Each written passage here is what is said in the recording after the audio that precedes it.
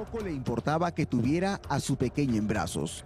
Apuntaba su arma al cuerpo de este padre de familia mientras lo amenazaba de muerte si pretendía huir. Fueron tres avesados y peligrosos delincuentes que en horas de la noche llegaron hasta esta ferretería ubicada en el distrito de Paramonga, en Barranca.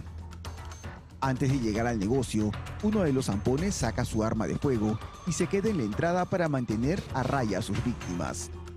Y mientras esto ocurre afuera, en la oficina, sus cómplices revisan todos los cajones en busca de dinero y arrebatan sus pertenencias de valor a las trabajadoras, que suplican para que no les hagan daño.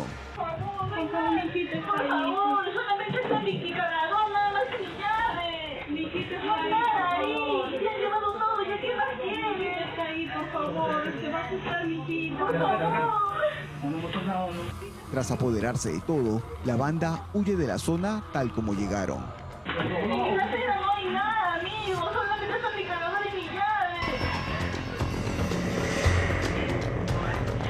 El propietario de la ferretería presentó la denuncia en la comisaría y se espera que estas cámaras ayuden a identificar y capturar a esta banda de ladrones.